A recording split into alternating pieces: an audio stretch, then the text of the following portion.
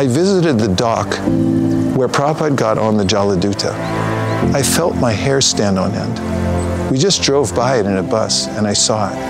And I thought, what would it feel like to get on that boat with no one to greet you, with no money, and only the order of your spiritual master? That's life. That's excitement. That's what we're here for.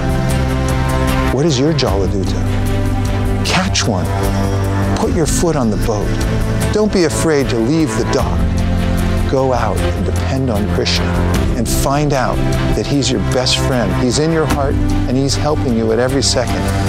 This Sankirtan movement is meant for such heroic acts. We're meant to catch Jaladutas. It may not be the big one that Prabhupada caught, but it's all relative. Each one of us has it in us. We're servants of Krishna. We're spiritual. We're alive. We have volition.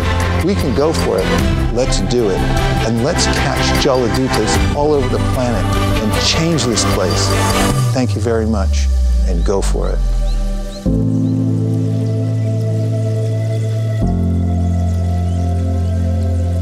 Bye.